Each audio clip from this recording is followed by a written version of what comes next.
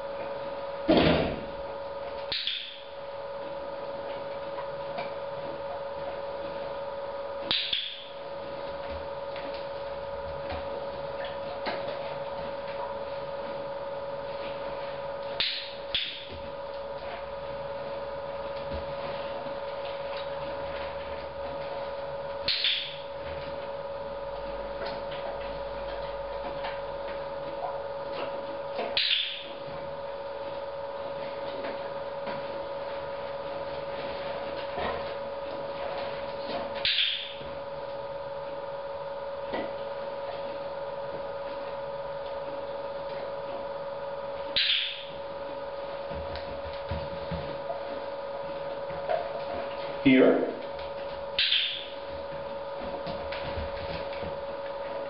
Here.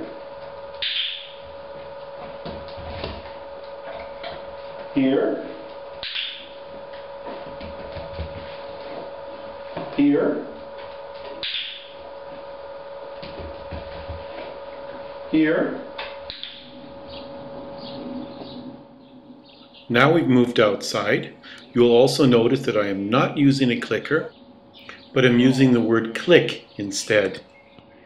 The word schade marks a mistake that she made. She didn't touch my hand. I immediately have her touch first the one hand and then the other, and then repeat the exercise at a smaller distance.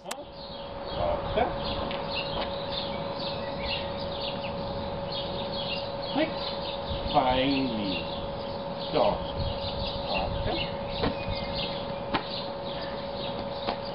So,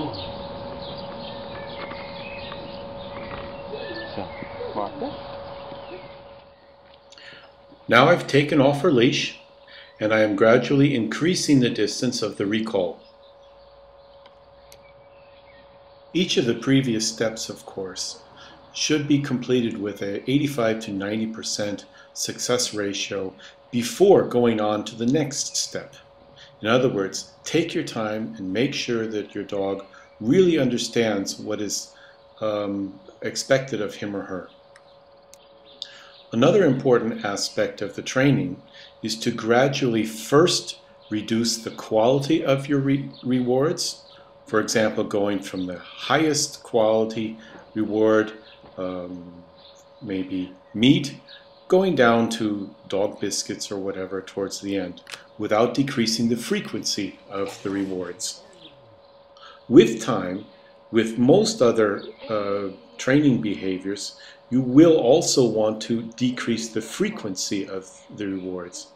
I'm of the opinion that a recall should almost always be rewarded with some kind of treat or play or something of that matter.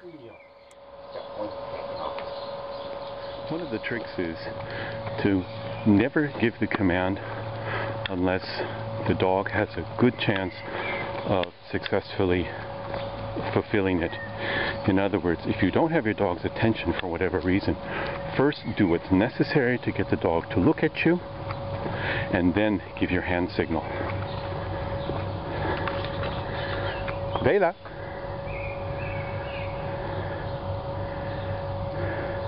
At this point, it's not necessary to give a vocal cue such as come or here. or even as I would use a uh, double whistle blast. But you can start coupling that at this point. Sometimes it helps to have a secret weapon. Uh, Vela loves to eat, but she also likes to fetch. Let's see what happens. Come.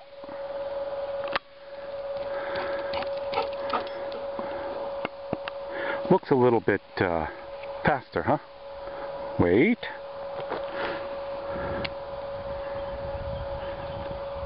Is goed. Yeah, bring. Bring. Gib. Vela, bring, kom. Vela. Schade. Schade is one of those commands that says, oh, you didn't do it now. I'm not going to have anything more to do with you unless we try it again. Vela, bring. Bring. Und gib. Komm. Bravi. Warte. Warte.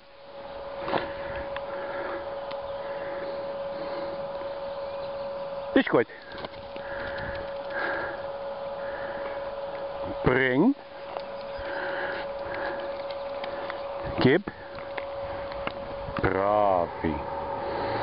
So. That is the that she'll...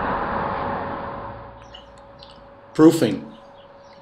Do not try the following unless you are 100% sure of the reliability of your dog's recall and also know the environment in which you are doing this.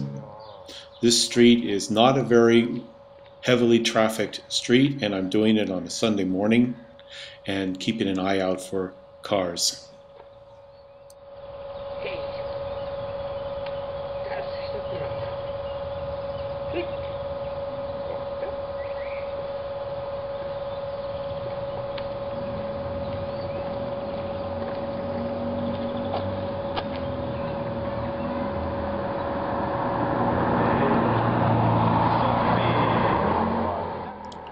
A between the legs recall is not just um, showing off.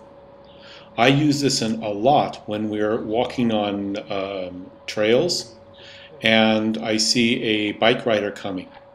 I recall her around me to, from behind, in between my uh, legs, and the bike rider has a sense of security that the dog is under control and is not going to jump after him or her.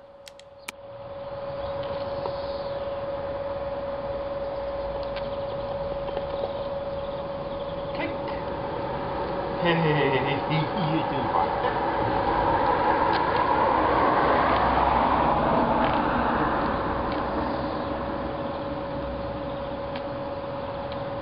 Click.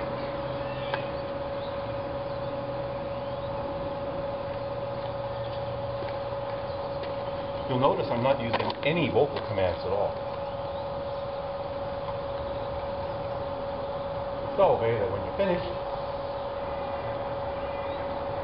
mm, mm, mm, mm, mm.